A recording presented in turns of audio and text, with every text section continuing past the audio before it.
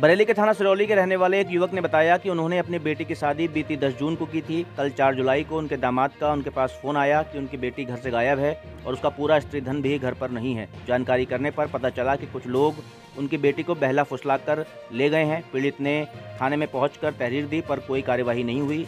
इसके चलते आज पीड़ित ने एसएसपी कार्यालय पहुंचकर पूरे मामले की शिकायत कर कार्यवाही करने की मांग की है। थाना?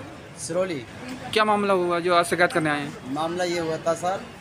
हमारे यहाँ की एक बेटी है और उसके लिए रात के तीन बजे वहाँ से गायब कर दिया गया। और ये हमारे बाबा थाने गए थे। हम्म, तो इनके लिए मारा वहाँ पर और इनकी जो एप्लीकेशन थी वो फाड़ के फेंक दी। और वहाँ पर कोई भी सुनवाई नहीं की गई थी वहाँ पर। अच्छा। कौन ये- कौन लोग हैं जो ले गए हैं? बहुत लोग मोमडन है सर। अच्छा। हाँ। क्या नाम है उनके? ये पहला फुसला के रात वहाँ पर चार पहियों की गाड़ी से गए थे और वहाँ से लड़की की यहाँ से ले गए थे। क्या नाम है उनके? एक का नाम मोनिस है एक का नाम अजीम है। कहाँ रहते हैं ये? ये सिरौली रहते हैं सर। अच्छा। हाँ। तो कब की बात है ये? ये परसों की बात है सर। अच्छा। तो थाने में कोई सुनवाई नहीं हुई? कोई सुनवाई नहीं हुई थाने में।